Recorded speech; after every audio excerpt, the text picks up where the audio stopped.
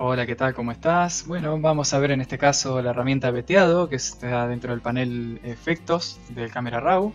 Y eh, primero voy a mostrarte rápidamente eh, a lo que queremos llegar. Yo primero eh, voy a empezar por unas fotos que son analógicas para que veas que el efecto que, tiene el Camera Raw es bastante similar a lo que es el analógico de con mucho grano, ¿no? Estas fotos, bueno, las realicé hace muchos años, cuando tenía cámara de rollo. Eh, con un proceso, bueno, especial para que se vea más el grano, además eh, era a las 10 de la noche, en invierno, entonces necesitaba mucha sensibilidad. Así que, por ejemplo, podemos ver acá todo el grano que tiene, que generalmente en lo que es analógico que, queda muy bien. Acá vemos otra, esta está con, perdón, la anterior está con ISO 3200, esta con ISO 400, siempre hablando de, analógico obviamente, eh, todas con muy poca luz, ¿no?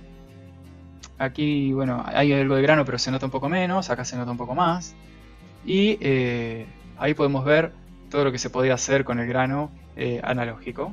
Y eh, vamos a ver en este caso fotos ya digitales en las que podemos agregarle este efecto. Este efecto yo lo que recomiendo es por si querés darle un efecto analógico o bien si querés recuperar una foto que ya tiene mucho ruido y Agregándole más veteado, es decir, más, si se quiere, más ruido, pasamos de un defecto a un efecto, ¿no? Entonces salvamos muchas de nuestras fotografías con ISOs muy altos o con poca luz.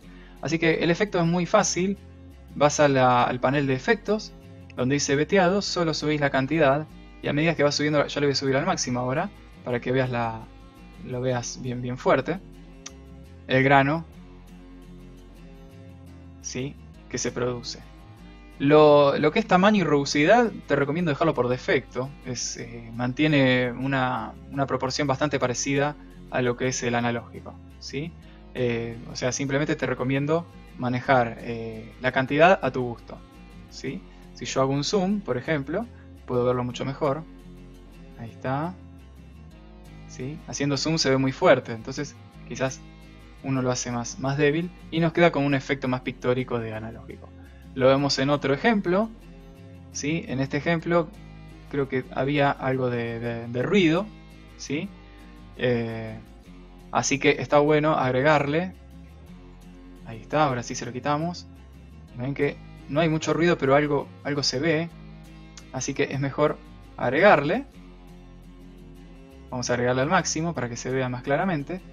Y nos queda, vean la diferencia, también mucho más pictórico eh, como decía, mucho más parecido al analógico. Así que te lo súper recomiendo más que nada para rescatar fotos. Eh, te puedo asegurar que, eh, bueno, vas a ver los tutoriales a continuación del público. generalmente se los recomiendo para rescatar fotos que tienen el ISO muy alto. Así que bueno, otra herramienta más de Camera Raw muy buena, que tiene pocos años de existencia, pero da muy buenos resultados.